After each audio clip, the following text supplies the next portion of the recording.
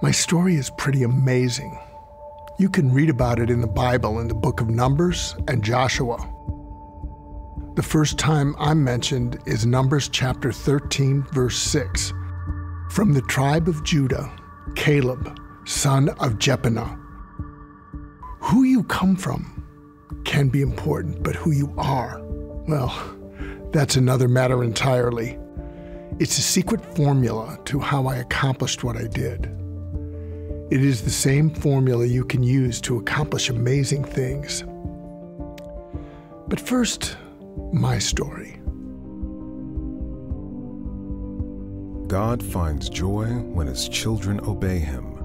However, God's heart is stirred with a unique delight when one of his children enthusiastically obeys with their whole heart.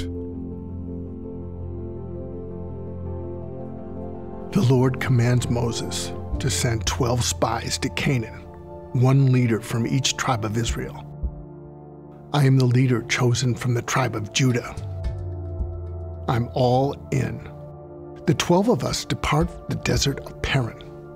We infiltrate Canaan from the south in the Negev and go north to the hill country.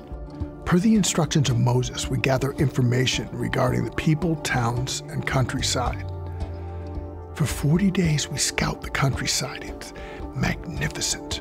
Traversing the region, we conclude it yields a bounty we could not have imagined. Moses must be fully briefed on this. However, it is going to be difficult for anyone to believe.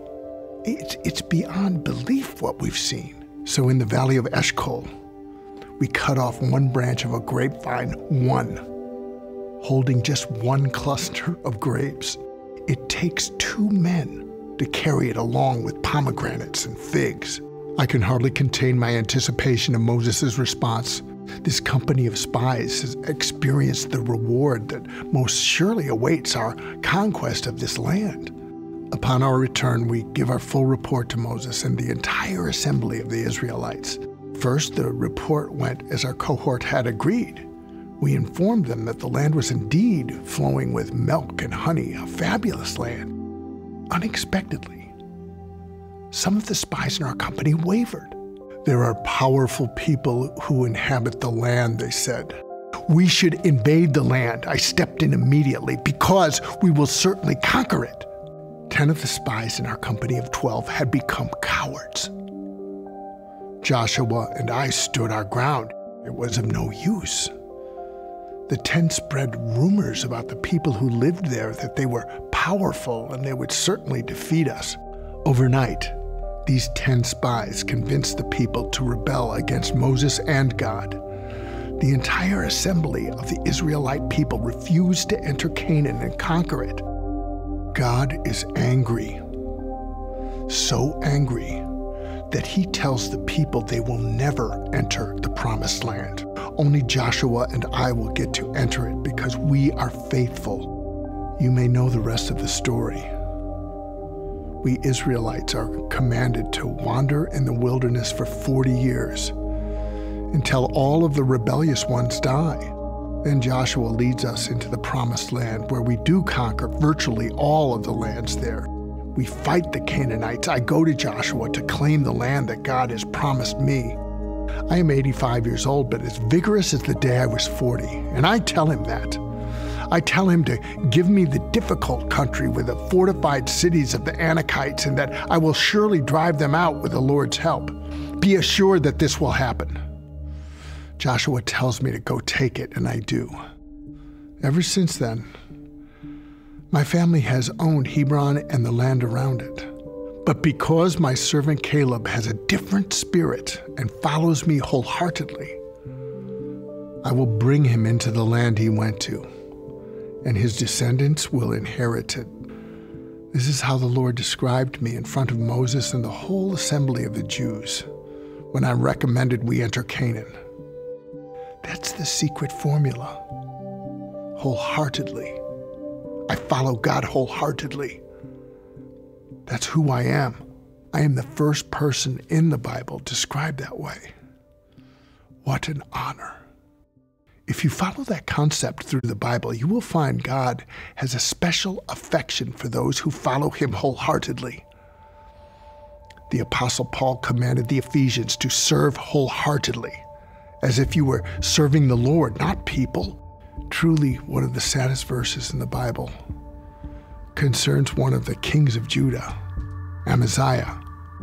He did what was right in the eyes of the Lord, but not wholeheartedly. It's tragic, in my opinion.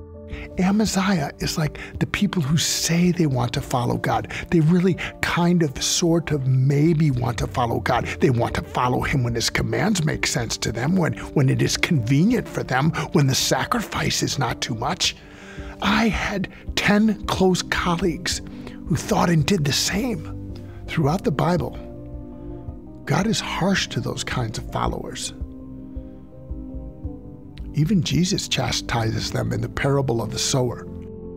Wholeheartedly versus not wholeheartedly. There is an enormous difference, especially when serving God. My servant Caleb has a different spirit and follows me wholeheartedly. My secret weapon in the secret formula? A different spirit than those around me. Those around me could have been my fellow Israelites, my fellow spies, my family, even, whoever it was, irrelevant. The issue at hand, I had a different spirit, a different spirit than those who didn't trust God, who didn't obey Him fully and completely. It takes a different spirit, a different attitude to take risks when He has asked you to follow Him. His interests above yours. Can it be difficult? Absolutely. Can it scare you? No question. What if I think you know my answer to anything you ask? A different spirit and wholeheartedly. Have a different spirit and follow God wholeheartedly.